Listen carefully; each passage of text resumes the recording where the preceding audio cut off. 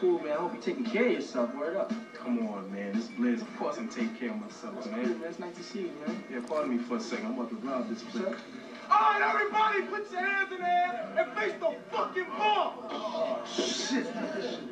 Don't look at me, goddammit. Hey, yo, Q, you want a piece of this? Nah, man, I'm alright. All right. Yeah. Everybody, take your fucking clothes off.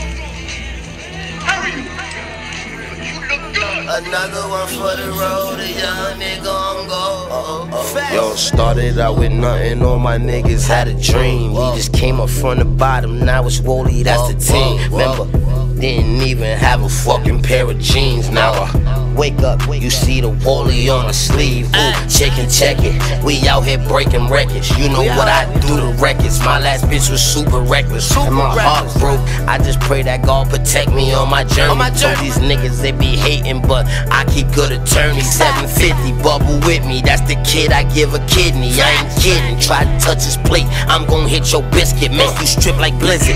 Y'all want the juice like Bishop. Okay, that's cool. You just gotta go fall off the roof to get it. They said I couldn't, then I did it. So I don't listen to the critics or none of you bitch niggas that's on guard.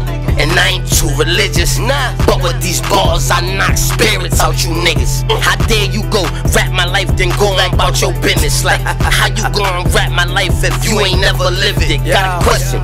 Besides your rap book, you ever had a sentence?